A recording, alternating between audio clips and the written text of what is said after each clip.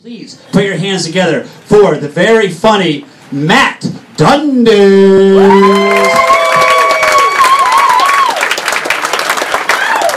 That guy.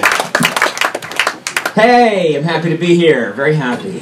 Uh, I'm a stay-at-home dad for my two-year-old baby girl. That's my service. Yeah. What'd you all do? Uh, oh, poop violently in foreign countries is what I'm picking up from the show so far. Let me just start by saying, uh, on behalf of all stay-at-home parents, what I wouldn't give to only be pooping violently in a foreign country right now. thank you. But no, thank you for your service. Uh, no, but I am. I am a stay-at-home dad, so pass the cocaine, am I right? I'm ready to rip loose.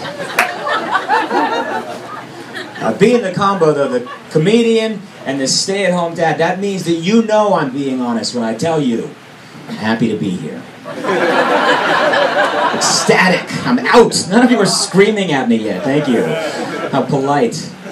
Uh, do you guys know that babies can't do shit? I didn't know that. I'm not on YouTube. I don't know what I was expecting. She's two years old. Can't do shit. I thought humans were neat. Uh, a year, after a year, she starts walking. One full year. She was born with legs, guys. They came out with. A year. Then I turned on the Nature Channel and I learned that the moment a horse is born, it gets up, shakes itself off, and gallops away. Moves out, gets work at Budweiser or something. I don't know where they go. But a human baby cannot even survive without its parents until it is 32 years old.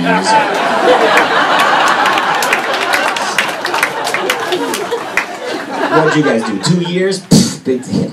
I didn't like that. Okay. so- I do have advice for the non-parents in the room, though, and I mean this sincerely. Advice for the non-parents: please do everything you ever intend to do in life before having kids, yes. including dying. Uh, that's on your bucket list, but I would check that box because everything's harder. Nothing is easy. I, I have trouble. I take her out on the town. You know, I take her out on the town. I think this, this is going to be easy, right? Just take her out on the town. You know what happens to me? All the single women just walk up and talk to me. Ooh, well, isn't this a convenient time for that to start happening? Thank you. Man, oh, and I see what you did there. Hilarious. That's that's that's something. Good God, I should have had a baby in high school. I don't know what high school was like for you guys, but when you look like the results of a one night stand between Conan O'Brien and Doogie Howser, wrapping up.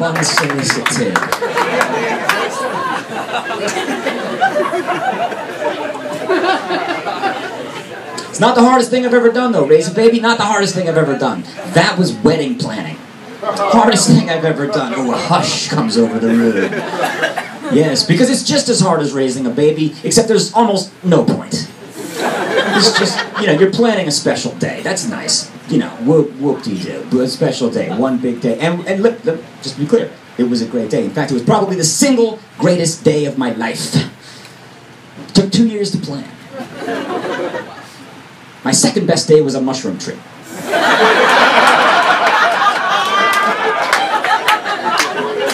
One hour. That took an hour. You eat them an hour later. Fantastic. I'm just saying, drugs, shortcut. That's all. Kids, anyway. Because there's, a- there's a way you're supposed to do wedding planning, and I don't know what any of it is. You know, I'm trying to be helpful. I'm filling out the invitations, and, and, and my wife comes in, and she's like, What are you doing? Calligraphy. Matt, calligraphy.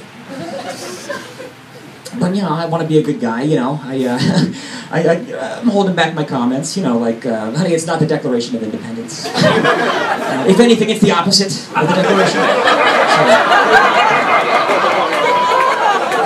Lighten but no, no, no, you don't say that.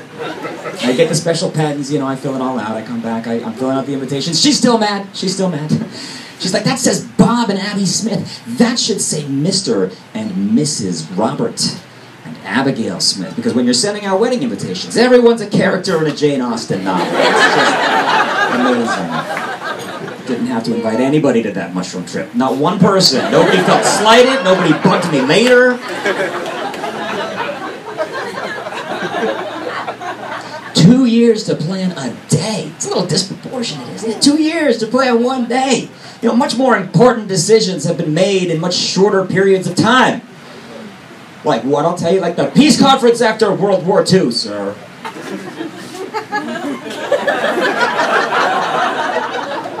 Shut him down, didn't I? That took 16 days. They planned the second half of the 20th century. Now, we were arguing over napkin size. They were like, fuck it, let's have two Germanys. What could go wrong? Next question. You guys have been fantastic. Thank you very much.